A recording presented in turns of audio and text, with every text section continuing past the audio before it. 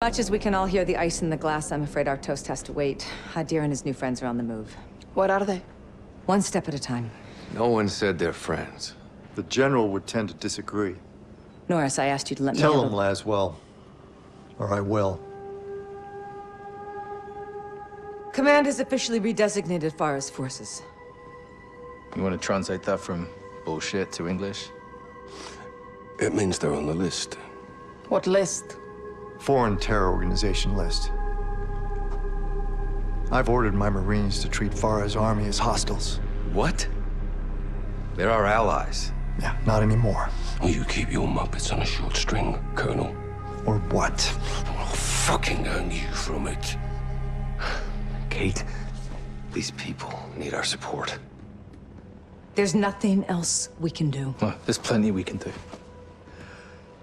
I'm tired of being told who my friends are. Alex, don't.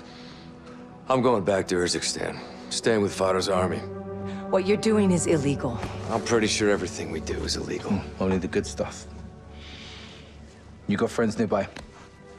You too. Thank you.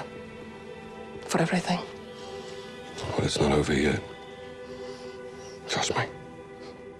I always have.